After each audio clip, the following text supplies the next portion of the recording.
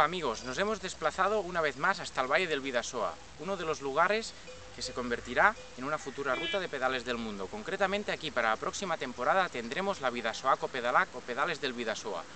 Como sabéis, estuvimos aquí en el mes de abril para mostraros ya algunas de sus bellezas. Concretamente, por ejemplo, el Parque Natural del Señorío de Bertiz, donde se ubica uno de los bosques más emblemáticos de toda la comunidad navarra. También estuvimos en Zugarramurdi, famoso pueblo porque en el año 1610 la Inquisición condenó a 40 mujeres por actos de brujería y además 12 de ellas fueron condenadas a la hoguera. También ascendimos hasta este punto, el Col de Ibardin, uno de los sitios más emblemáticos de la ruta del Vidasoaco Pedalac. Desde aquí podemos contemplar el Monte de la Run, una de las montañas más emblemáticas de todo el pueblo vasco. Desde su cima podemos contemplar las montañas pirenaicas y la costa, concretamente la costa que va de San Sebastián a Bellarritz y toda la extensión de las playas de las Landas. Desde su cima podremos también ver prácticamente toda la ruta del Vidasoaco Pedalac.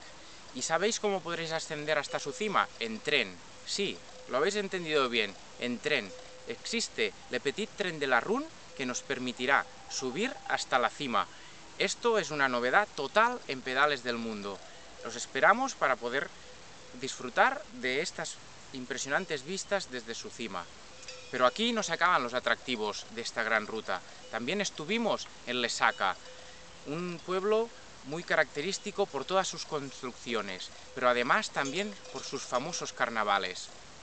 Y sin olvidar uno de los sitios que se convertirá en mítico dentro de Pedales del Mundo, la ascensión a Aranza, por su calzada romana. Sí, su calzada romana estamos convencidos que se va a convertir en uno de los grandes mitos de Pedales del Mundo.